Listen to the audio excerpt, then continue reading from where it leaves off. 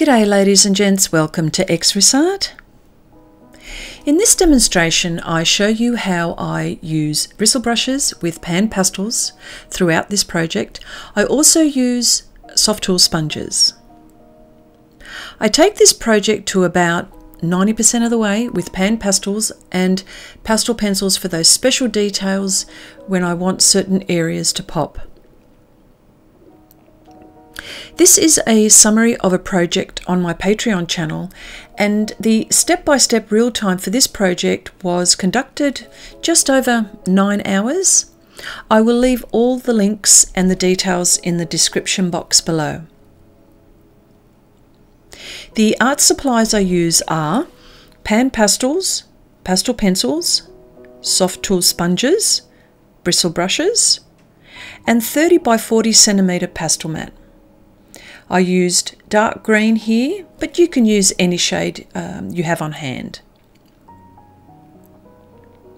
I also use uh, use a, or use a, a kneadable eraser to erase for those times when I wanted to remove uh, pastels, of which I will elaborate in a little bit. Also use glassine paper to protect my piece with uh, from any smudges or oil uh, from my hands getting on the surface while I paint. I also uh, use masking film to protect areas which prevent halos as you will see further in this demonstration. The kneadable eraser. So I would like to emphasize the power of the kneadable eraser and what it can actually do. I initially started painting in a field and a path heading towards the center background. However, midway during uh, my painting process, I felt it wasn't working quite like I imagined it. So I eliminated it altogether and decided I wanted the elephant to look ghost like. Uh, so this is where the kneadable eraser came into play. I was able to pick up the majority of the pastel, not all, but the majority, uh, all the while being really careful not to damage the tooth.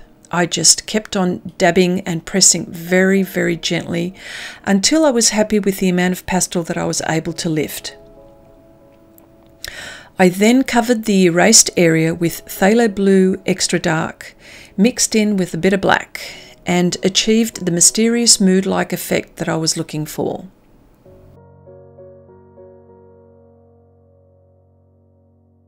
And of course, it goes it doesn't go without saying the ability to mix pan pastel colors to make new colors is so easy. I use a spare piece of paper, pick up the pigment uh, from the pan with the brush, mix and then apply uh, apply on the surface area.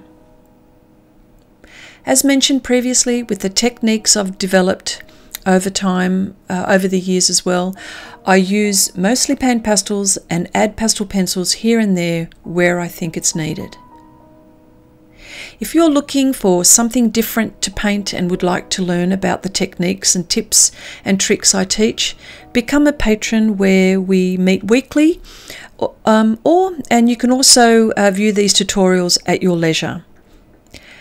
My name is Chrissy Thank you so much for watching. Until the next time, keep on keeping on.